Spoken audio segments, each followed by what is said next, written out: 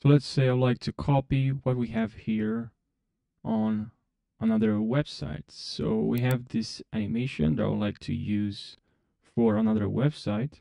Of course, I'm going to change the text, but I don't have to recreate this animation. Okay, so what I'm going to have to do here is to click on pages and menu, and then here we have this one here. I'm going to click on the three dots here.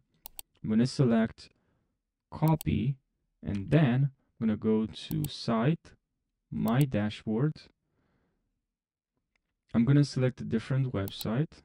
I'm going to select uh, which one it is. Let's go actually to all sites and then I'll click on this one here and this one I'll select this one I'm gonna click on design site I'll pick a template I'll select blank template start from scratch edit and now we're gonna have to paste this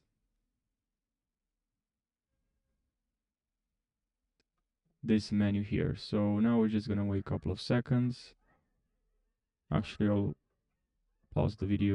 Okay, so the home page it's uh, empty, so I'd like to paste it here. So I'm gonna click on page and menu, and here I'm gonna click on right click, and then here I'm gonna select paste apply site theme. So it's gonna copy the font, everything I copied. So here's the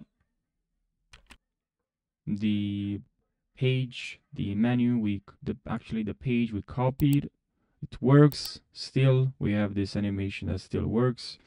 I'm just gonna have to actually edit this, which I'm gonna do after I pause the video, after I stop the video. Anyways, thanks for watching. If you found this short video helpful, subscribe for more, and I'll see you in the next video.